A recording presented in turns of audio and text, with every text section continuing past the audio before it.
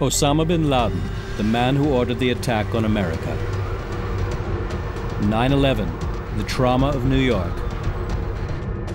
For 10 years, the USA hunts down its public enemy number one and finds him where no one suspects him. He is killed in Abbottabad, Pakistan on May 2, 2011. Private papers fall into the Americans' hands during the operation. Some of them are published later online. They offer a glimpse into Osama bin Laden's life in his hideout.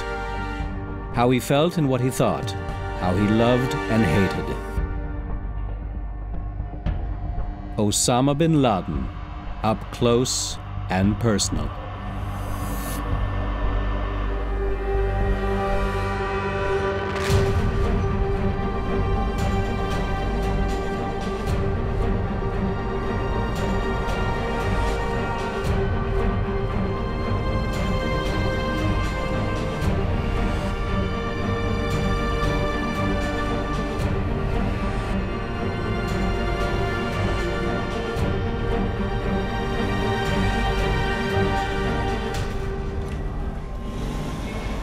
Abbottabad, Pakistan, a city of 500,000 at the foot of the Himalayas.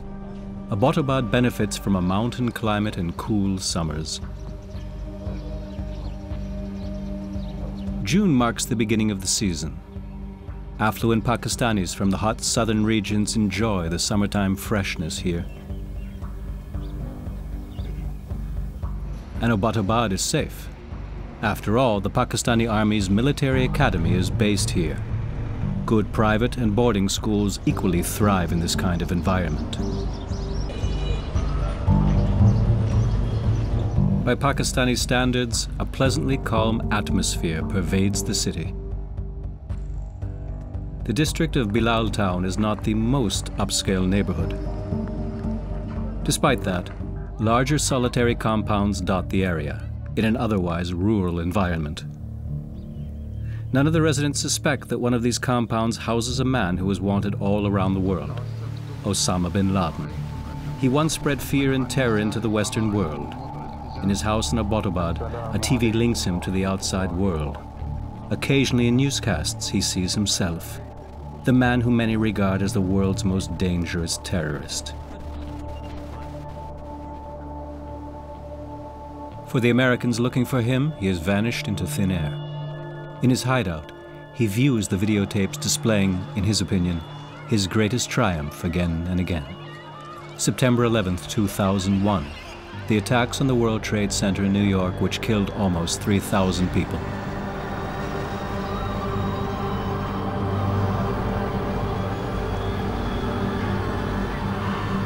Roughly 10 years later, bin Laden wants to publicly savor his terrible triumph one more time. In his compound, he writes to a confidant. We are awaiting the 10th anniversary of the blessed attack on New York and Washington. You are well aware of the importance of taking advantage of the anniversary in the media. We have a lot to show. If Al Jazeera shows responsiveness, we should tell them that we are willing to cooperate. Tell them that we suggest that they make a documentary on this anniversary and we will provide them with printed, audio, and video material.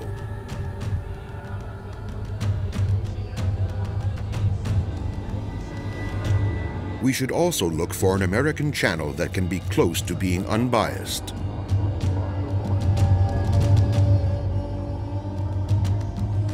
Original quotes from bin Laden himself, according to the US government.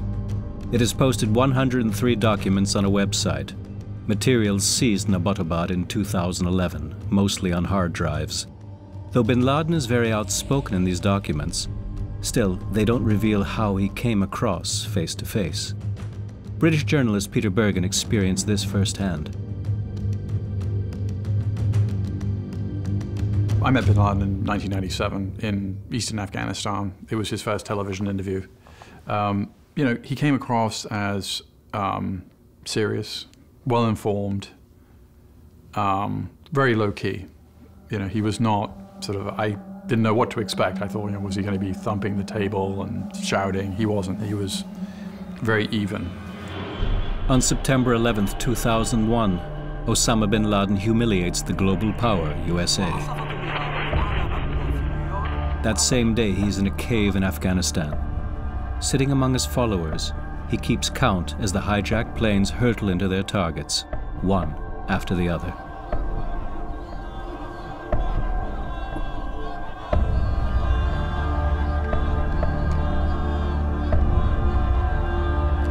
This is the day when he becomes the most well-known terrorist in the world and the most wanted.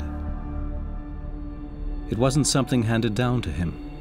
Osama bin Laden was born in 1957 in Saudi Arabia, a country marked by old traditions and rapid change. Oil makes the desert nation rich, but big money brings the modern era with it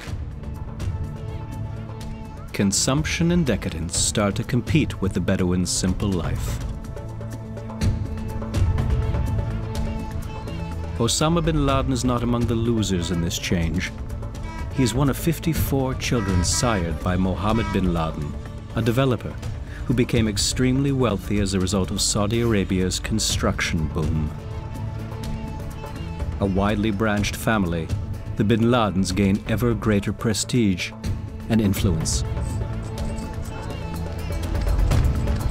It was really quite a, an organized clan. And uh, under Islamic inheritance law, uh, Osama would have known uh, as a recognized son of Mohammed bin Laden that he would, that he would have a, a significant fortune um, after his father died. Like many Saudis of his generation, young Osama loves some of the novelties. Cars are his passion.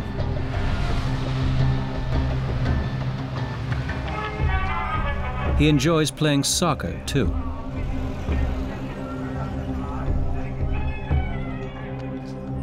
In Jeddah, he attends one of the most modern elite schools in the country. Osama's gym teacher at the Al-Thager Model School comes from Syria, where he was a member of the Islamist Muslim Brotherhood. Now he lives in exile in Saudi Arabia. The teacher deliberately tries to influence young bin Laden's political views so uh, Osama had this very distinctive experience in elite, an elite educational setting, influenced by European curricula, but also educated by Syrian Muslim Brotherhood activists who saw Islam as a source of political change, not just personal faith and practice. Osama bin Laden studies economics and business administration at King Abdulaziz University in Jeddah but he is drawn to lectures held by Islamic scholars. One of them, Abdullah Yusuf Azzam, spurs the faithful on to wage jihad, holy war. Muslim soil must be defended against the hegemony of the infidels. The armed struggle to accomplish this ought to be fought throughout the Islamic world. Afghanistan. Here, jihadists literally go into combat against hostile invaders. Soldiers from the Socialist Soviet Union have occupied the country. Firm conviction causes many young Saudis to be drawn into this holy war. Yet a thirst for adventure is there too. As of 1984, Osama bin Laden is one of them. His presence turns him into a celebrity back home. 1990, deployment of U.S. troops in Saudi Arabia. Their mission? To liberate neighboring Kuwait, which has been occupied by the Iraqi dictator Saddam Hussein. Bin Laden fears that the presence of U.S. troops in his homeland is an affront to the Muslim world. The holiest sites in Islam, Mecca and Medina, lie in Saudi Arabia. The Russians' withdrawal marks the end of bin Laden's adventure in Afghanistan. The militant fundamentalist looks for a new sphere of activity. Er hat damals auch äh, dem Verteidigungsminister Sultan angeboten. At the time, he even made an offer to Defense Minister Sultan to form an army of volunteers to set against the Iraqis. When the minister and the king rebuffed this notion, Osama bin Laden opted for opposition instead. Da begab sich Osama bin Laden in die Opposition und ab dem Moment ähm, scheint er über Wege nachgedacht Starting then, he appears to have thought about ways to take action against Saudi Arabia and its foreign backers, even by force, primarily against the United States. Erster, äh, an erster Stelle die Vereinigten Staaten. This hatred towards America culminates in the attacks on September 11, 2001. The Americans strike back. The hunt for bin Laden is on. At first via CIA squads in Afghanistan. But they're unable to catch bin Laden. Even when U.S. armed forces head into the Hindu Kush region in late 2001, the quarry is nowhere to be found. For years, the Americans presumed that bin Laden is hiding in the mountains of Afghanistan or the tribal regions of Pakistan. The, the, search for bin Laden and the decade that that took, I think at times was a it, there was a source of an enormous frustration for the intelligence community, if not if not almost embarrassment. Right? How could you have all of these resources, all of these people devoted to this search, and turn up so little? Um, there were, um, in terms of the public investment in this, it waned at times, right? There were other things that were happening. There was the invasion in Iraq and that ugly aftermath of the war in Iraq, um, the unraveling of that war. I mean, that diverted not only resources from the search for bin Laden, but diverted the public's attention from the search for bin Laden. Yet since 2005, bin Laden hasn't had to live in mountain villages or caves anymore. In 2004, a Pakistani middleman buys several property lots in a suburb of Abbottabad. He spends $50,000 and applies for a building permit. The client's order calls for a domicile with space for about a dozen residents. In 2005, construction workers erect a house. The neighborhood has been chosen with care. A large portion of the population in Bilal town are retired people or semi-retired, if you like, those who've taken up some occupation after post-retirement. Uh, it's um, it's not a it's not an active region. It's not where people get up at 6:30 in the morning and start doing things. It's more like a sleepy place where the day starts at about nine o'clock and those who get up earlier than that are the exception, not the rule. Um, it, it's uh, there's not too much social interaction. Walls enclose the house, not unusual in a culture that shields women from strangers' eyes. Shaukat Qadir knows the situation in Abbottabad. The compound is a large one. It was a very large compound. Uh, but most houses in most uh, villas in in uh, Bilal town have an equal size of compound. It's about uh, five kanals of land in the local language, which comes to about uh, 2,500 square yards of land. That's not too much either. It's a very large compound, but um, for most middle class families in that region, this wouldn't be too large an accommodation. Uh, it's not all that expensive either from uh, that point of view. Bin Laden writes letters, memos, and messages in his hideout. He knows he has to be very careful. There is no internet in the house, no mobile phones either. However, he is not completely isolated here either. If you don't forget, he had a lot of time on his hands. So he would write 46 page memos to his lieutenants, uh, and then he would you know, put it on a thumb drive and give it to a courier. The couriers were, you know, they were, they were perfect for bin Laden because they were also his bodyguards. They spoke Arabic because they grew up in Kuwait, but they came from this part of Pakistan, so they spoke the local language. So it was, you know, they were really were able to present themselves as locals because they kind of were. The couriers relay bin Laden's messages, most of which are stored on USB thumb drives, to intermediaries. The neighbors only know the two Pakistani brothers, Arshad and Tariq, nothing about the compound's high-profile resident. Arshad Khan, one of his couriers, systematically shields bin Laden from their view. One, one of the things that he uh, told, shared with his neighbors was that he had an elder uh, uh, uncle staying with him, with his uh, wife and children, and he was not well. So that was the excuse, the other excuse for not mixing with people. You know, they were being very, very careful about security. So if a kid would knock a soccer ball or cricket ball over the wall, the bodyguards inside the compound wouldn't return the ball, wouldn't let the kid in. The bodyguard would come out and give somebody 50 rupees to just go away and you know forget about it. Uh, you, you, they were not letting anybody into the compound. Bin Laden doesn't live all by himself in the compound. He has gathered part of his family here. Er äh, war immer der Auffassung, He always äh, advocated that it's good custom for Muslims to have four wives, which corresponds to common practice, at least among conservative Muslims in Saudi Arabia. Marrying two, three, or four women is nothing special if the financial means are there.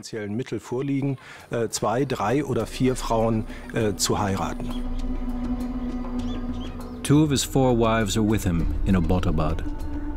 Two of his younger children are even born here.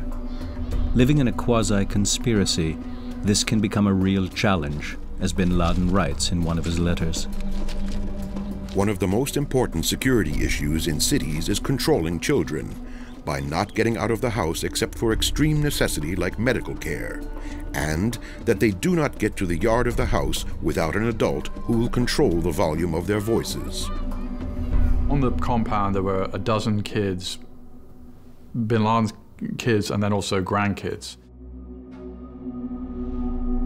Only very few photos of these younger children exist.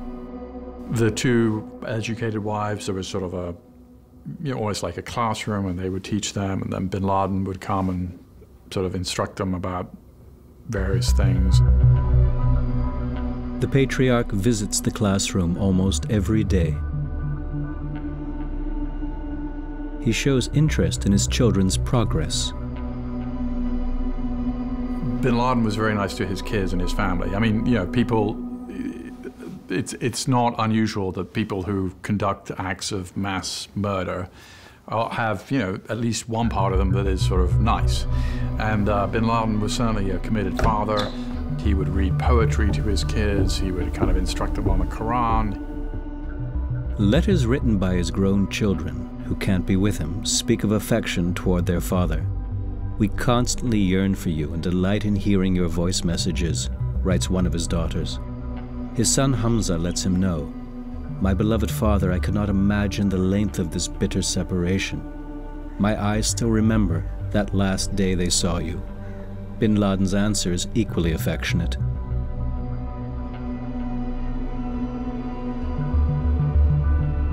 By God, I miss you so much. The only thing we're lacking is getting together with you. And yet, in comparison, the terrorist leader knows how good he is faring in his hideout. It, it must have been a bit boring sometimes because he couldn't leave. Uh, but, you know, he was the world's most wanted man, and he's living, he wasn't on the run. You know, he was living in this house for five and a half years. He had his family. Now, most people, when they're on the run, don't take you know, two or three wives and a dozen kids and grandkids with them, right? It's quite unusual. Well, he had them all with him. The search for bin Laden poses a challenge for U.S. investigators at CIA headquarters in Langley, Virginia. Their work demands a lot of time and even more patience. Well, they always had a dedicated unit of analysts who became essentially target analysts. So their responsibility was to collect and uh, synthesize and analyze all of the information about where he might be, and to then send out messages to CIA stations around the world asking them to follow up on one clue or another clue. It was obvious from 2002 forward that there was some kind of courier network serving bin Laden because his tapes came to Al Jazeera and to other outlets by some means. There had to be some handing. So the CIA was searching for those couriers, trying to follow the trail back uh, from when the tapes were dropped. Uh, this was an obvious uh, course of investigation.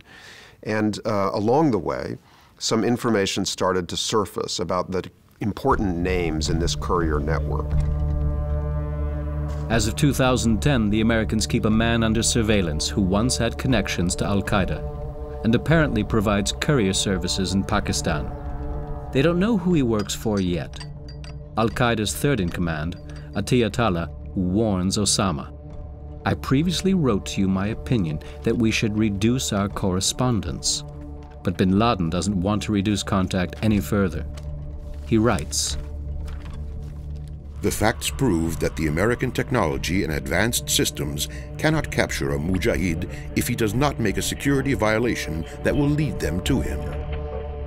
Imagine trying to control a global organization without using the phone or email. I mean, that's how Bin Laden was. But he, you know, he had some control because he was able to get these messages out on thumb drives through couriers to people. But it was, you know, you know, it might. He had no idea if the message got through. It might take months for a reply to come. I mean, it was a very. It was like running an organization in like the early 19th century, where you would, you know, send somebody physically with a message. It is not without consequences. There are sub-commanders who question bin Laden's authority. One of them writes, No doubt that one's distance, due to security situation and other reasons, from reality can weaken his precise vision. Being chased, besieged, and distant is not the best environment for thinking and for forming the right opinion and decision. Er schafft es doch, zumindest die groben Richtlinien. Even so, he at least manages to stipulate rough guidelines for Al Qaeda's global activities, and it seems he also manages to have a say regarding operational details in individual cases. However, the fact that he has to communicate exclusively using couriers makes this difficult, which is why he naturally can't engage in planning attacks like those in London in 2005. But it seems as if he was at least still able to influence the broad focus of all these attacks, and he appears to have been well informed about current strategy. Yet the operational leadership no longer considers bin Laden to be a decisive factor. He starts to set other priorities. We need to understand that a huge part of the battle is the media. He's not pleased at all with how the media is portraying him. In the past, I watched some programs about me that relied on incorrect information. If the person does not disclose his history, then the media and the historians will make up some history for him, whether right or wrong. Well, he's, he's obviously a narcissist in many important ways. He sees himself as indispensable to uh, the struggle, to his own faith, to world history. And uh, there's a megalomania in his actions and uh, in his sense of self. Now, he could in person come across as quite uh, retiring and even humble, but in his uh, in the choices that he made and in the the way he uh, defined himself as a leader, he was clearly a narcissist and quite vain as well. He keeps intervening. In late 2004, fierce fighting breaks out in Fallujah, Iraq. U.S. troops temporarily lose the city to Iraqi resistance groups, among them Al Qaeda in Iraq. In a letter written in 2004, before his time in Abbottabad, bin Laden spurs the insurgents on. Most sincere regards to the free people in the land of Al Anbar especially the people in Fallujah, a town that is standing strong and refused to be humiliated and subjected by all of the infidel leaders. It taught them a lesson in consistency in principle and proved to them that the strength of faith is greater than that of planes and cannon shelling. But the leadership of Al Qaeda in Iraq is hard to keep in check. In 2004, Abu Musab al-Zarqawi, ähm, a Jordanian who later became the head of al-Qaeda in Iraq, allied himself with Osama bin Laden. He had pledged allegiance to bin Laden, although all the experts knew he didn't have very much in common with al-Qaeda. A native of Jordan, al-Zarqawi is viewed as extremely vicious and unpredictable.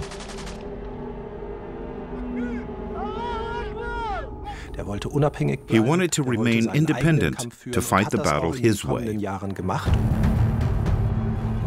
Al-Zarqawi is not only fighting against American forces. Time and again, Al-Qaeda in Iraq carries out attacks on Iraqi Shiites. As a result, primarily it's Muslims who become the victims of Islam's terror. In a letter from 2007, bin Laden cautions against the consequences of these actions. I am afraid that if they continue using techniques such as this, they will spoil and alienate the people. Our brothers are making things worse by opening themselves up to evil and hostility. There was tension there at the, at the outset in an effort um, by bin Laden and, his, and those closest to him to try to exert some influence to sort of check this group in Iraq, to yank its leash from time to time. Um, and ultimately, they couldn't hold on to that leash. That leash was, uh, was broken a couple of years ago, and the Islamic State has emerged as an organization with, with more resources and seen now as a greater menace. America remains the main adversary for bin Laden, no matter where or when. In Afghanistan, too. In a letter to a like minded comrade, he depicts what he considers the best method. Al Qaeda concentrates on its external big enemy. The enemies of the Ummah are a malicious tree with a huge trunk that has many different sizes of branches, including the countries of NATO. We want to cut this tree at the root our strength is limited, so our best way to cut the tree is to concentrate on sawing the trunk of the tree. For example, if we were on the road between Kandahar and Helmand and army vehicles of Afghanis, NATO and Americans drove by, we should choose to ambush the American army vehicles, even though the American army vehicles have the least amount of soldiers. We will continue to pressure the Americans until there is a balance of terror.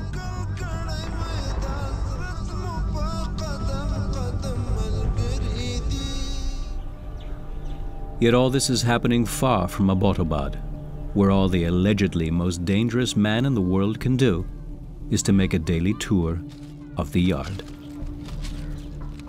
He is extremely cautious to avoid being discovered. The residents keep to themselves. They even burn their trash instead of having it collected. Bin Laden wants the household to be self-sufficient in every possible way. So the bodyguards were bringing goats that they bought locally and they would slaughter them.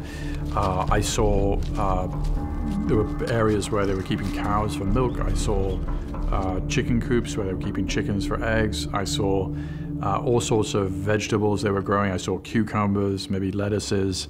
Um, it was a completely self-sufficient environment. Uh, they and you know there was a practical side of this, which is the more you can keep it you know, the more you can grow yourself, the less you need to go out and buy stuff. And they were being security conscious in that sense. Bin Laden has reason for caution. His hideout is within the Americans' reach. Since 2009, they've been flying more and more special missions from their bases in Afghanistan. Night after night, a unit is airdropped somewhere to search houses and take out key opponents.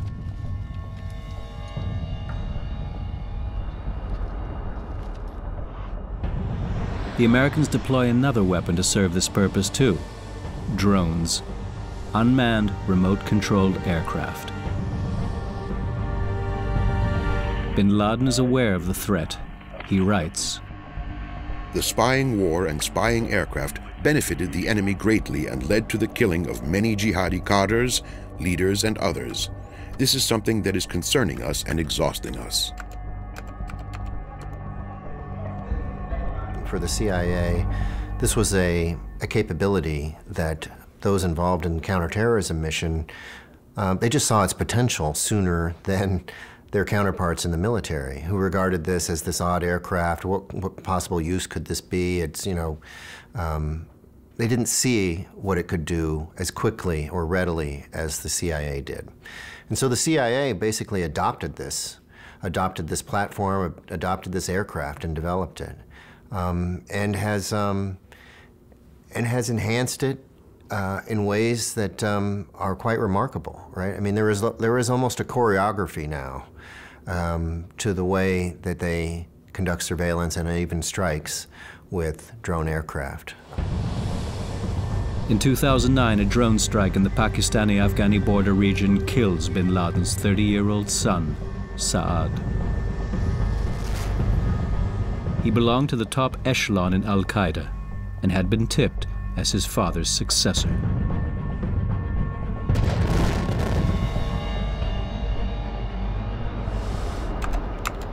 Osama bin Laden writes about his son's death. May he accept him among the martyrs and elevate his stature, and may he have him in the company of the prophets, the lovers of truth, the martyrs and the righteous people. We also pray that God reward us for this loss and grant us a successor.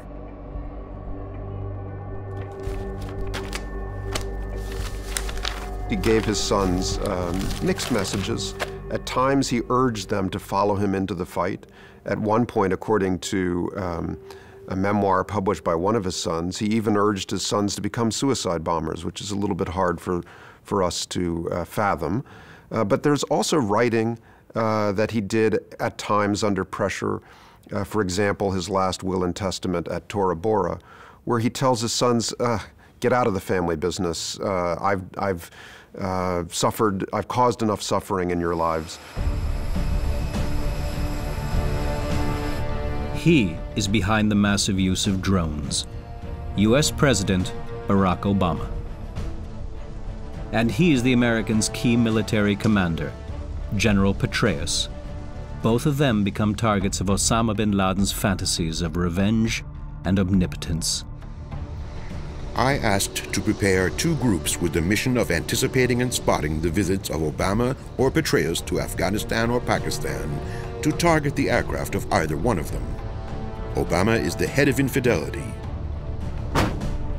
As for Petraeus, he is the man of the hour in this last year of the war, and killing him would alter the war's path. Those are the sorts of things you can't rule out, but seemed increasingly unlikely, seemed increasingly um, almost as if he, you know, evidence that bin Laden had lost some grip on the reality of the organization he was running uh, and its capabilities. Uh, so it was sort of a pie in the sky idea. Yet bin Laden views himself as a realist. He thinks he knows his enemy and writes. One of the most important matters when there is a conflict between two sides, each side needs to be informed about its enemy's culture, history, his way of thinking. He was our enemy before Islam, and he increased his animosity after Islam. It is the Western civilization that occupied our land for 1,000 years. The Greeks 400 years, the Romans 600 years. Yes, I think it was a narrative of a sort of preordained history rooted in certain interpretations of uh, Islamic texts and Islamic forecasts uh, that he had grown up with, but really distorted by uh, the kind of campfire conversations among all of these exiled radicals uh, in these conflict environments. Uh, and they, they kind of created their own mythology to explain um, what they were doing, uh, why they mattered, and uh, how it would all lead to um, a, an important and successful transformational outcome. He didn't understand the United States at all. I mean, and we know now that he visited the United States once um, when he was a relatively young man. Uh, he didn't have much first-hand knowledge of the United States. Um, some of the people in his family, big family, some of them studied in the United States, understood it pretty well. But he himself, I think, had a very surface understanding. And, you know, the bin Laden bookshelf that he had at his house, I mean, it's full of, it's, it's full of works by Noam Chomsky and sort of critics of American foreign policy. That's all fine, but it's only one part of the picture. Uh, so he didn't, I think his view of the United States was kind of incomplete. And, and also he was reading, as some people do, stuff that really simply reinforced his own views. The picture bin Laden has of Germany is homespun too. He believes he knows the easiest way to hurt it. Boycotting German automobiles means harm to the automotive sector first, and with it other companies will be hurt also, such as BASF, the largest chemical company in the world, and also the steel industry.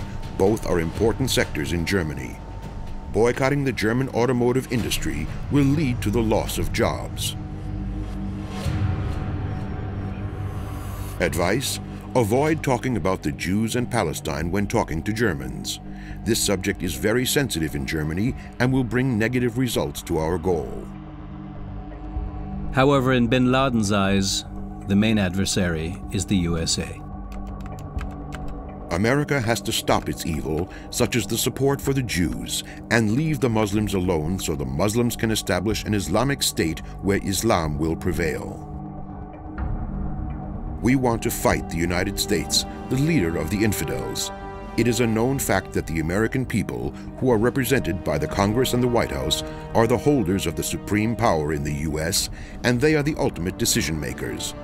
Thus, we have to focus on killing and fighting the American people.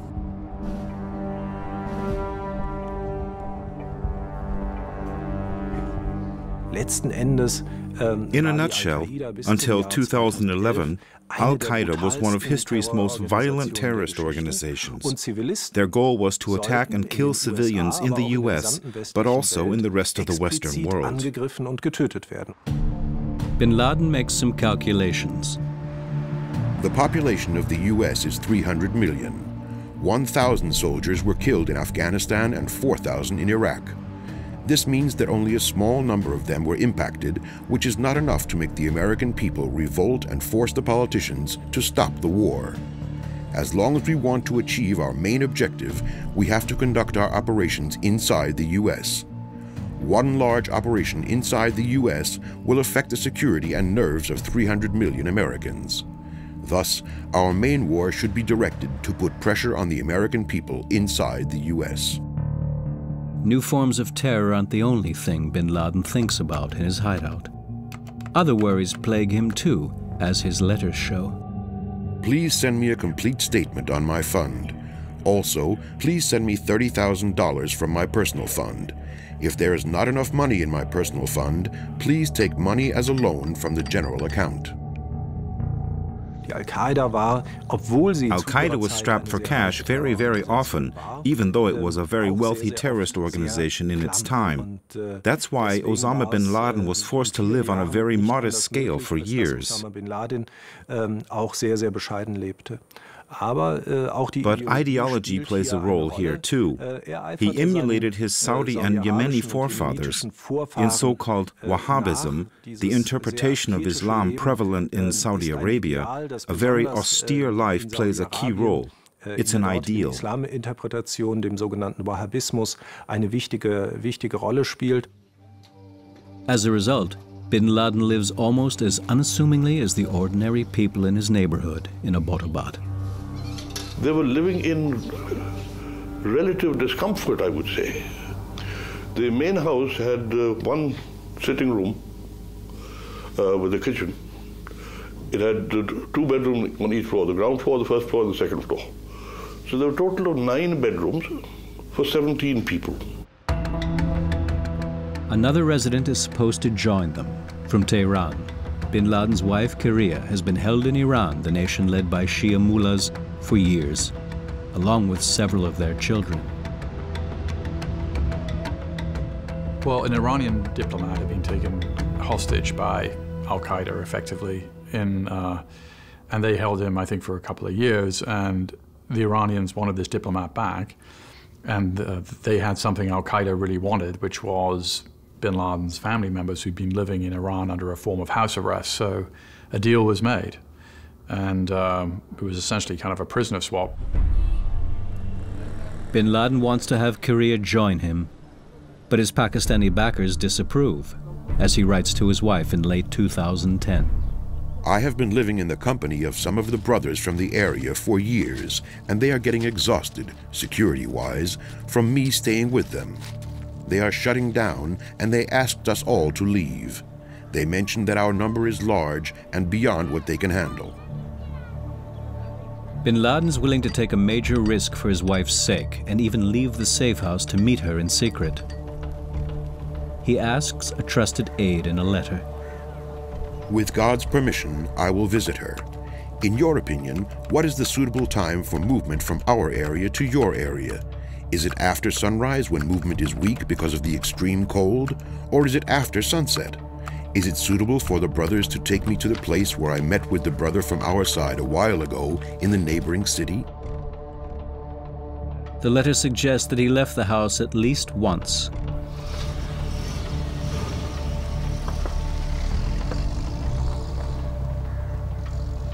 It's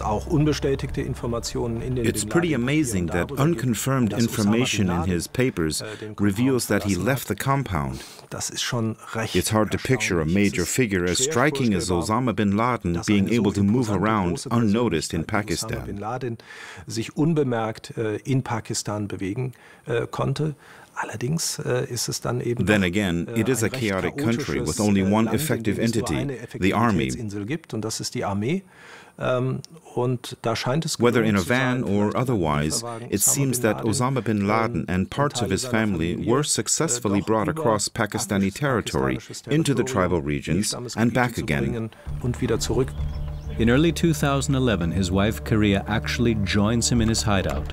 He had advised her beforehand our security situation does not allow us to go to doctors, so please take care of all your medical needs and keep the prescriptions from every doctor you go to so we can get you the medication when you come to us, God willing, whenever you need it. He had three wives who varied in age from 63 to 29. Uh, and Mal was the youngest one. She's the Yemeni, and she, he had recent, she was his most recent bride, and he was living in the bedroom with her. And then he had you know, these two other wives uh, who were also living in the house, and you know he had good relations with them. By that time, CIA search units are already keeping the compound in Abbottabad under airborne surveillance. From the ground as well. They even count the pieces of laundry on the clothesline to figure out the number of inhabitants. Yet, they never catch sight of bin Laden himself.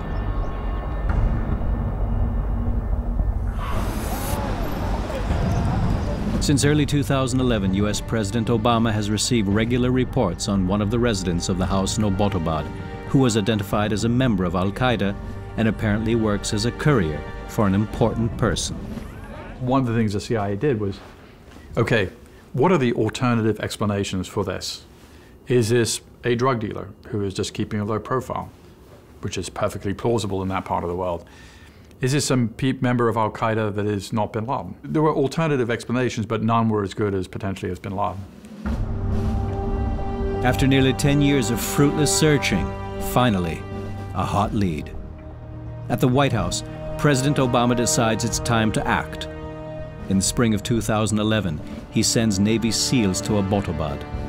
Whether they're actually going to find bin Laden there is anything but certain. This was not an easy decision. This, there were doubters in that room who were arguing against, against proceeding in this way, proceeding with a raid instead of just dropping a bomb or sending a drone. The president reportedly also decides not to notify the Pakistani government in advance. However, some issues regarding Pakistan's role still remain. I do think there are aspects of the hunt for bin Laden uh, and the um, communication uh, with the Pakistanis that we may not know everything about. Uh, in history, these kinds of very sensitive, secret fugitive hunts, they usually reveal a few layers as the years go on and as, and as more documents become available. Today, the essential facts are commonly known.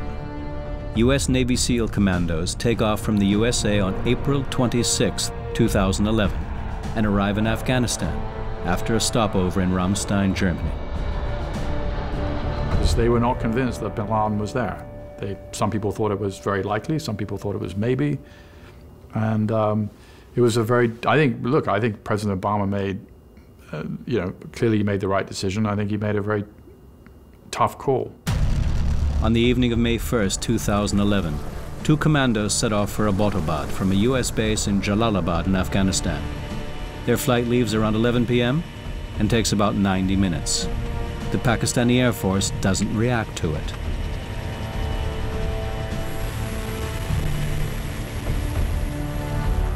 There was no aerial threat from Afghanistan, from our western borders. There was no threat by air, or incursion by air from Afghanistan. The aerial threat was all from India. So all our radars and anti-aircraft devices were placed on that border, not on this border. What is more, the Americans knew which areas were totally undefended, where there were no people, and they could fly through those valleys, low fly through those valleys, which and they can gain entrance, which is what they did. That night, Osama bin Laden goes to bed as usual, on the third floor of the house, in the bedroom he shares with his wife Amal.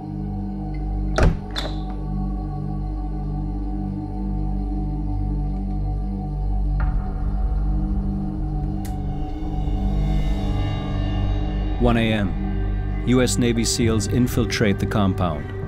One of the commando units kills bin Laden's two couriers and one of his adult sons during a firefight. Another unit heads off in search of the target.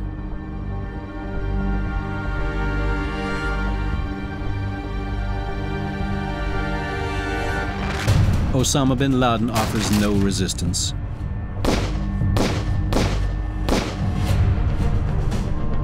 Few hours later, a VTOL jet lands on the U.S. aircraft carrier Carl Vinson, stationed in the Indian Ocean. Bin Laden's body is on board. The Americans have left his wives and children behind in Abbottabad, handcuffed. On the aircraft carrier, bin Laden's body is prepared for burial according to Islamic ritual bin Laden is given a burial at sea. This way his body will never be found. I mean, you know, in Islamic uh, custom, you're supposed to bury within 24 hours, and I mean, they didn't want bin Laden to bury his burial place to be a place of pilgrimage. And so, you know, the, I think the sea burial was the least bad option they came up with. At the same time, the world at large learns of the terrorist leader's death. Tonight, I can report to the American people and to the world the United States has conducted an operation that killed Osama bin Laden, the leader of Al Qaeda. It was a big story, but it wasn't, you didn't have billions of people protesting. And you didn't, I think the reason for that is bin Laden did not die on the battlefields of Tora Bora in Afghanistan fighting the Americans. He died in a suburban compound surrounded by his wives and kids. He put up no resistance. It was not a heroic end. He, he didn't go out with a bang, he went out with a whimper. The focus of global attention shifts overnight to the city of Abbottabad and the mysterious house in Bilal town. Neither spectators nor journalists are allowed to enter the compound itself. Though there are some exceptions. I was amazed, I, I must admit very surprised at the lack of security that there was. Because one would, in this high technology era, one would have uh, visualized some high technological equipment for security of the house. There wasn't any, none at all. Following the dramatic events, as a former general of the Pakistani army, Shaukat Qadir is granted access to bin Laden's hideout. One aspect draws his attention. Somebody running away or hiding from the law what one begins to think of is that the first thing he must ensure is escape routes, some escape routes. That's the first thing that I was looking for, that he should have some hidden escape routes, and perhaps the attack was such a surprise that he wasn't able to get there. But there were none. There were none. No CCTVs installed outside which you could look at from the inside and say, okay, somebody's coming. Nothing like that at all. Very surprising. Pakistani authorities do not want bin Laden's house in Abbottabad to become a place of pilgrimage, so they have it demolished in 2012. Yet the memory of bin Laden is by no means erased by demolition. Bin Laden ist äh, viel mehr als eine Bin Laden is much more than a historic figure because he made a very decisive mark in shaping today's world, using admittedly highly effective terrorist attacks that continue to define global politics to this day. He managed to induce a superpower to counterreact into overreacting.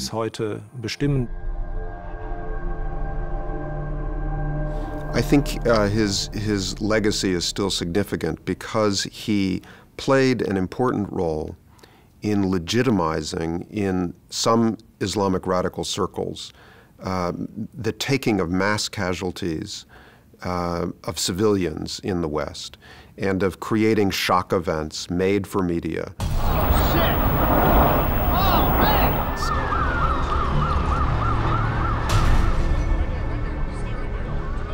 What we have now is a style of terrorism that, that bin Laden helped to invent, which is just the shocking mass casualty attack against soft targets. His means were violent, his strategies simple. He was set on using terror to combat American influence in the Arab world. The next step was to establish fundamentalist regimes in the Arab nations and ultimately unite them in a caliphate. Well, the real thing is the ideology. Bin Laden was the person who explained that ideology very clearly to a lot of people around the world. And unfortunately, the ideology continues to live. And I don't think it's going to I don't think it's going to disappear